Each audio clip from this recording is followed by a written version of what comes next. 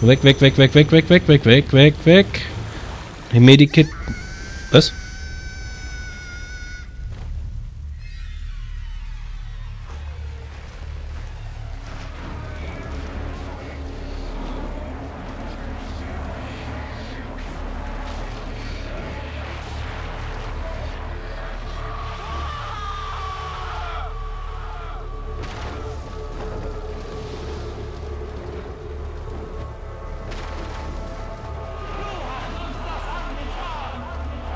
Die haben nichts getan.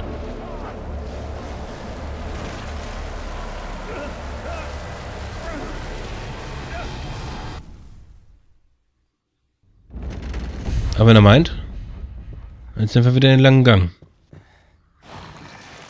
Dann nehme ich erstmal Medikit. So. Dann warten, bis die Drogen nachlassen hier. Und dann gehen wir weiter. Aber wir dümpeln jetzt weiter, ich weiß auch nicht.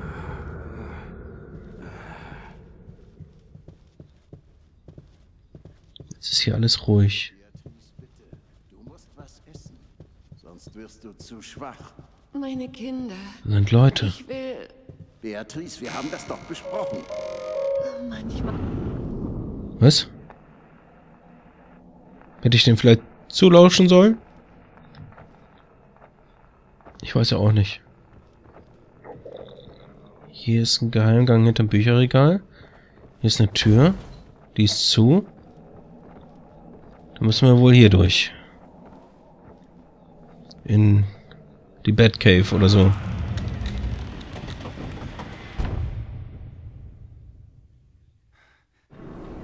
Ah. Ende des Levels. Kapitel 9. Überlebt. Dann speichern wir natürlich. Also waren jetzt die Kinder da, äh, Arme Ruvik oder Rupin und äh, seine Freundin. Oder wie, oder was, oder hä? Keine Ahnung, wir werden es erfahren. Gut, nächstes Kapitel.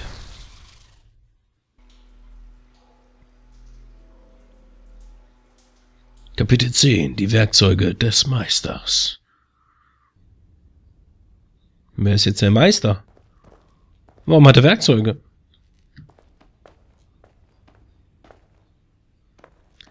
Ich habe keine Ahnung. Ahnung gut. Die Geräusche gefallen mir auf jeden Fall schon mal. Schon mal gut. Wie viele hast du getötet, Ruben? Ruben? Meint er etwa Ruvik? Das würde das äh, erklären, was ich gesagt habe. Das war nicht bloß Forschung.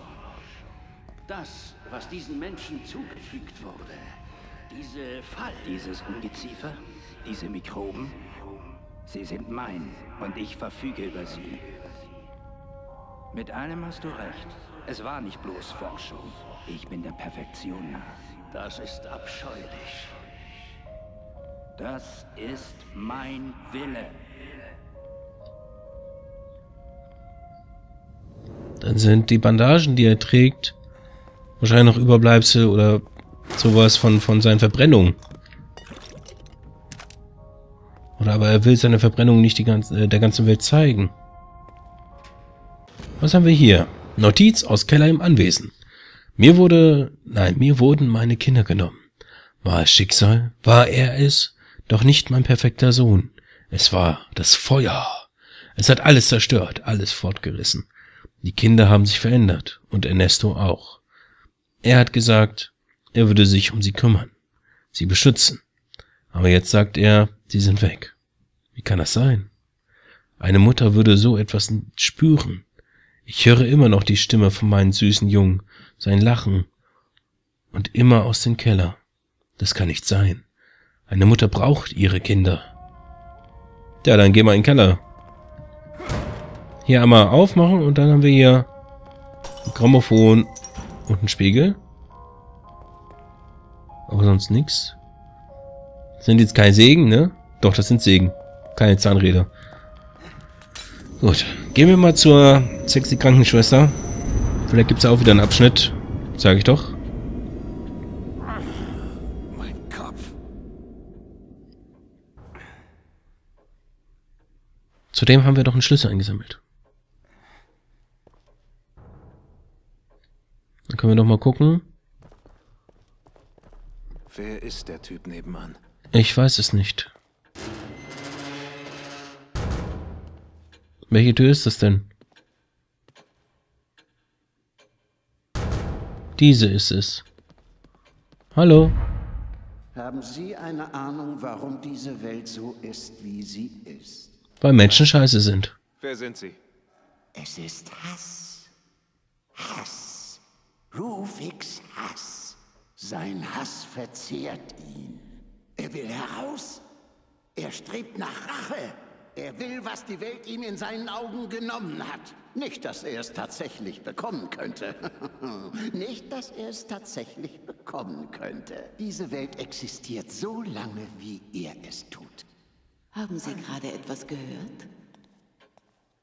Hm, sexy Krankenschwester. Ja, aber äh, ich kann das durchaus nachvollziehen, dass er halt von, von Hass getrieben ist und Rache will und alles. Nach dem, was wir jetzt so gesehen haben. Und noch dazu, dass, dass er seine Forschung da nicht weitermachen konnte oder durfte. Und damit vielleicht äh, irgendwie was Neues erlebt hätte. Was er sich gewünscht hat. Oder ich weiß auch nicht. Oder mit andere Menschen nachempfinden können, was er durchgemacht hat. Doch, ich kann ihn durchaus nachvollziehen.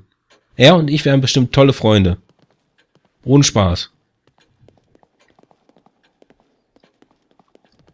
Gut.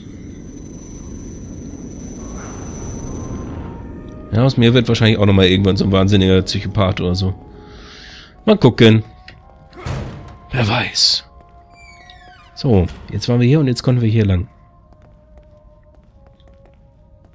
Haben wir denn jetzt hier auch irgendwas Schönes, was wir machen können? Vielleicht?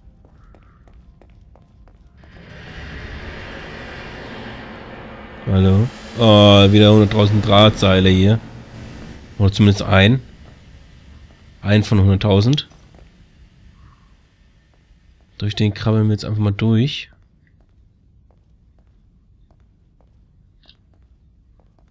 Haben wir hier... Wow. Was? Was hat da jetzt so ein Geräusch gemacht? Warum ist er dann so instant aufgestanden? Keine Ahnung. Oh, da ist noch so ein Dingens. Wir waren jetzt gar nicht beim, beim Dingens, beim äh, Schließfach und sowas. Äh, da liegt Schrotmunition, da kann ich mal ganz kurz das Ding nachladen. Dann können wir da auch ein bisschen was mitnehmen. Gehirnwasser lag hier auch rum. Hier liegt auch noch mal ein bisschen was rum. Nehmen wir auch alles mit. Gut. Läuft doch so langsam. Außer, dass die Pistole mal wieder leer ist.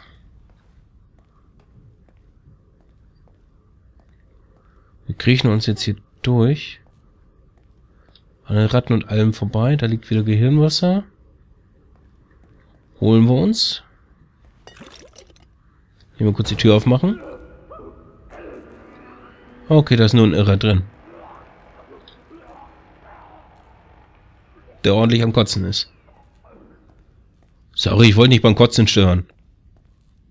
Ich meine, wer will schon beim Kotzen gestört werden? Oder wer will jemanden beim Kotzen stören?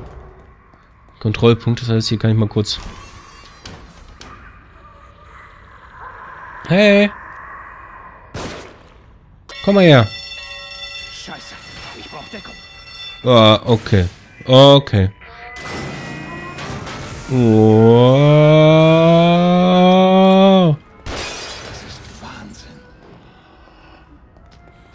Ich habe mir jetzt so gedacht, ne, dann kann er mal in die Falle reinrennen, aber es war ja nur ein ein ein ein Dingens zum äh, Alarm auslösen. Das ist natürlich nicht das, was ich wollte. Wow. Wow.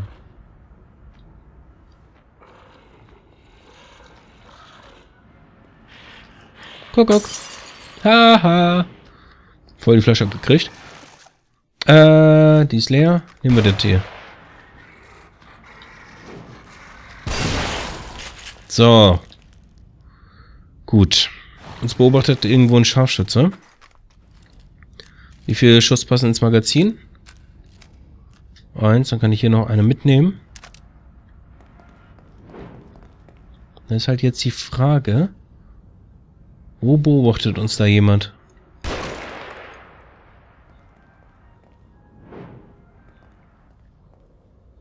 Ich habe keine Ahnung.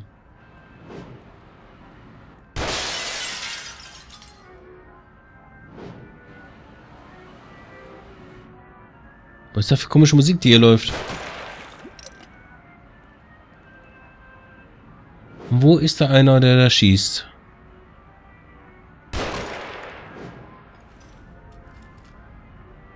Sehe nichts. Ich sehe nur, dass die... Ah, da. Warte. So. Ist der erledigt. Dann können wir den anderen Schuss auch mitnehmen. Wir haben irgendwo wieder einen Suchenden hier.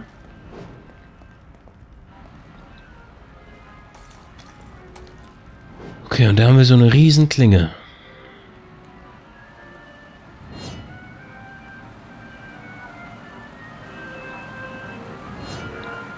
Dies möchte gern Karussell hier.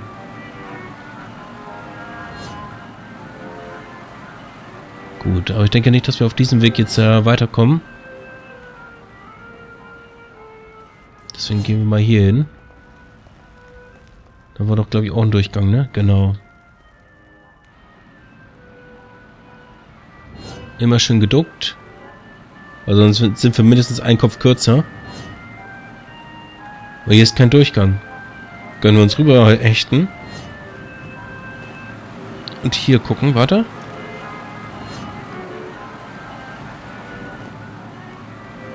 So, oh, wow, wow, was war denn da? Ich hab's nicht gesehen. Ich habe es nicht gesehen.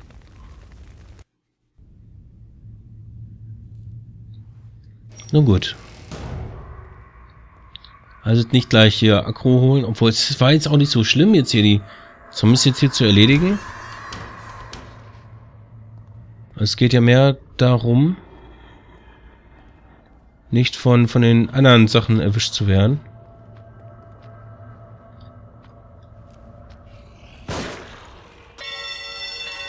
Scheiße, ich brauch Deckung. Warte.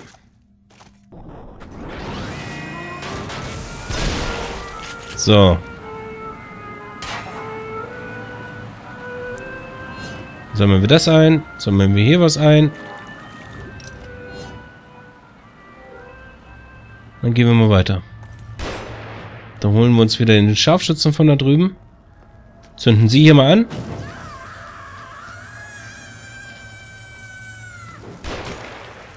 Wechseln auf das Scharfschützengewehr. Und dann warten wir, bis er geschossen hat und erschießen ihn.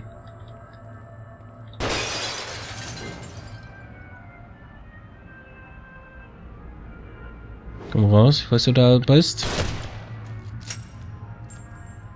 Habe ich ihn jetzt erwischt? Sieht so aus. Gut. Wenn wir das jetzt haben, können wir wieder wechseln, nachladen und ab in den Tod. Da können wir auch hier rüber springen. Ah, da war hier so, so ein Drahtdingens. Okay. Haha.